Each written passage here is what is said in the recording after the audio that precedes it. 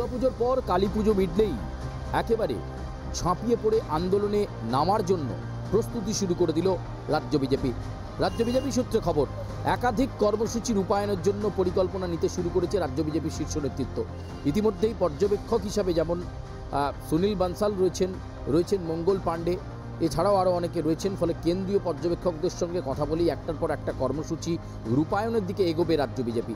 যেটা জানা যাচ্ছে কালী পুজোর পরেই একেবারে। সরাসরি মাঠে নেমে আবার আন্দোলনে। তবে এবার দুর্নীতি ইস্যুর সঙ্গে সংযুক্ত হচ্ছে বেকারত্ব এবং রাজ্যে শিল্প নেই। এই দুটো বিষয়কে সামনে রেখে সিঙ্গুর থেকে সিলিকন ভ্যালি পর্যন্ত, নিউ টাউনের সিলিকন ভ্যালি পর্যন্ত পদযাত্রা করার কর্মসূচি রয়েছে। টানা চার দিন পদযাত্রা করবে বঙ্গ বিজেপি।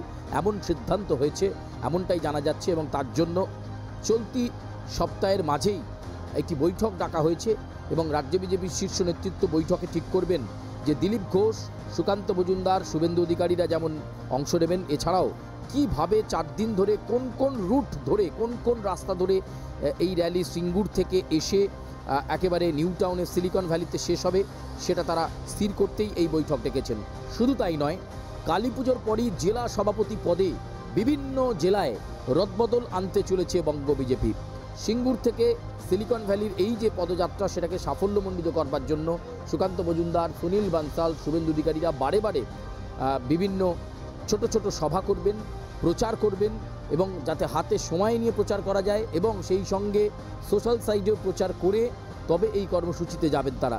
আপাতত কথাই বলা যায়, পুজো মিটতেই একেবারে সদল বলে নামবে বিজেপি। একদিকে আন্দোলনের কর্মসূচি চলবে আর অন্যদিকে সাংগঠনে স্তরেতে একেবারে রদবদল করে সংগঠনকে মজবুত করাই এখন লক্ষ্য বিজেপির।